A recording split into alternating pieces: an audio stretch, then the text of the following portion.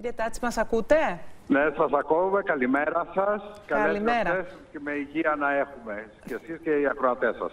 Πριν σας δώσω το λόγο, κύριε Τάτση, Γιώτα, θέλεις να μας θυμίσεις με δύο λόγια; Ναι, να θυμίσουμε, Τατιάνα, και να πούμε βεβαίως ότι το δικαστήριο με την ε, απόφαση του αυτή υποχρεώνει ε, τον οδηγό του λεωφορείου, τον Όση αλλά και την ασφαλιστική εταιρεία σε καταβολή αποζημίωσης ως χρηματική ικανοποίηση λόγω ηθικής βλάβης. Μιλάμε για το τροχαίο ε, με τον Κωνσταντίνο Αγγελίδη με το λεωφορείο το οποίο προπορευόταν στη λεωφόρο Βουλιαγμένης. Βγήκε λοιπόν η απόφαση του δικαστηρίου. Να πούμε ότι νομολογιακά, Τατιάνα, είναι πολύ σημαντική απόφαση, καθώς ε, το λεωφορείο βρισκόταν μπροστά, ενώ ο γνωστός παρουσιαστής ε, ήταν από πίσω, που είναι μια θέση που συνήθως και η κυρία Παναγοπούλου γνωρίζει ότι χρεώνεται ως θέση ευθύνης όταν βρίσκεται. Εγώ θα σου πω. Εγώ θα σου πω. Έχω, ε, είχα σοβαρό τροχαίο, καραμπόλ αυτοκινήτων. Και επειδή εγώ ήμουν το τελευταίο αυτοκίνητο, ενώ δεν έφταιγα, είχαν σταματήσει φρενάρι όλοι στην εθνική οδό και δεν πρόλαβα να φρενάρω, έπεσα πάνω σου μπροστά, αναγκαστικά. Εκεί τι σου λένε, Α, είσαι ο τελευταίος. Ο τελευταίος θα πληρώνει όλα. Πληρώνει η ασφαλιστική δηλαδή. Τι θα πει πληρώνει όλους.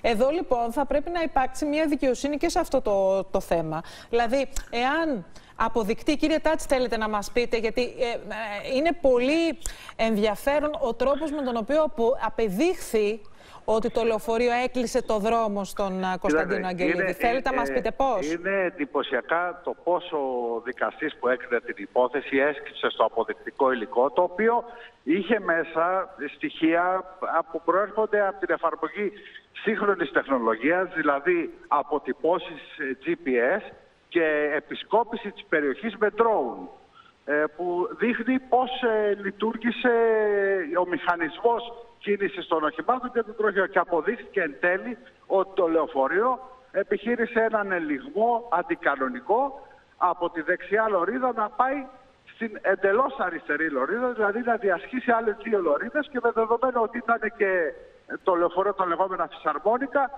έκλεισε όλο το ρεύμα κυκλοφορίας της λεωφόρου Βουλιαγμένης, αποτέλεσμα να μην μπορέσει ο Κωνσταντίνος που έκανε αποφευκτικό ελιγμό να αποφύγει την πρόσκρουση. Να ρωτήσω κάτι κύριε Τάτσι, ναι. γιατί αυτό ενδιαφέρει πολύ κόσμο. Ε, τα τροχαία είναι καθημερινότητα.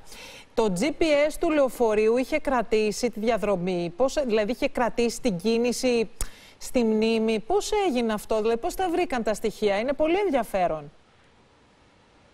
Του από, από το στίγμα του GPS ότι το λεωφορείο καταρχάς είχε παραβιάσει το κανονικό του δρομολόγιο. Εκεί είναι το εκπληκτικό.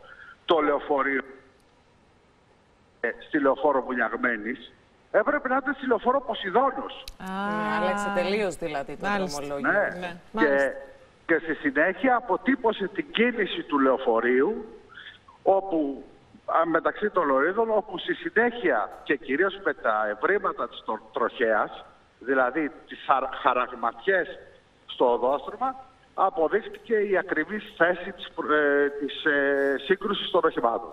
Μάλιστα. Πολύ σημαντική απόφαση. Φαντάζομαι τώρα η οικογένεια περιμένει και την περαιτέρω δικαίωση. Ναι, ναι, να δούμε ε, κάποια Θέλω λίγο μόνο να τονίσω ότι μπορεί ο άνθρωπος να είναι στο σπίτι του να κάνει Χριστούγεννα.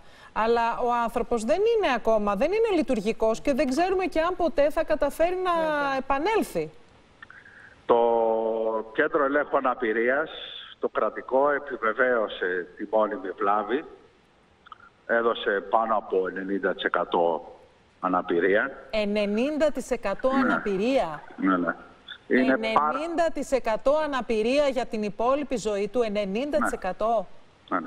Γι' αυτό, είναι... και το δικαστήριο ε, απέρριψε το αίτημα για τη διενέργεια ιατρικής πραγματικοσύνης που είχε καταβάλει η πλευρά του οδηγού του λεωφορείου, ναι. καθώς θεωρεί ότι η κατάσταση της υγείας ε, του Κωνσταντίνου Αγγελίδη είναι σταθερή και δεδομένη πλέον. Καμία δίκη, Μάλιστα. καμία αποζημίωση, οτιδήποτε δεν μπορεί να αποκαταστήσει το μέγεθος της βλάβης στον άνθρωπο αλλά και το πώς έχει πληγεί αυτή η οικογένεια. Ε, ναι, δηλαδή, εντάξει, τώρα ένας αυτό... άνθρωπος που, που έχει μια λειτουργικότητα Α... 10%, ε, ε, από εκεί και πέρα θα πρέπει κάποιος να αναλάβει να τον φροντίζει εκτός από τη γυναίκα του. Χρειάζεται νοσοκόμα 24 ώρες το 24ωρο. Επιδικάζονται και ποσά όμως από το Βεβαίως, πρωτοβάθμιο. Δηλαδή, ήδη οι οικογένειες από τα πρωτοβάθμια δικαστήρια, δεν ξέρω τη συγκεκριμένη υπόθεση, ο κύριος συνάδελφος το γνωρίζει, επιδικάζεται κάποιο ποσό και παίρνει κάποια χρήματα η οικογένεια από το πρωτοβάθμιο δικαστήριο. Ο, δεν, ξέρω... δεν είναι προσωρινά εκτελεστή, δεν έχει πάρει τίποτα.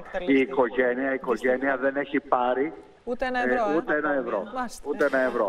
Και εμείς και από εδώ να εκφράσουμε την ευγνωμοσύνη μας σε εσάς για τα όσα έχετε κάνει για να αναδειχθεί το ανθρώπινο σκέλος της υπόθεσης. Η συμβολή σας ήταν καταλητική, αλλά και σε όλους τους φίλους, τους ακροατές που έχουν κατακλείσει με μηνύματα συμπαράστασης στην οικογένεια, με τις ευχές Κύριε Τάτσι, μέχρι τώρα, μέχρι τώρα, εκτός από φίλους και γνωστούς, κανένας άλλος δεν ήταν στο πλευρό αυτής της οικογένειας. Εγώ θέλω να σας ευχαριστήσω πάρα πολύ και κουράγιο να ευχηθούμε εκ μέρους ημών στην ε, οικογένεια.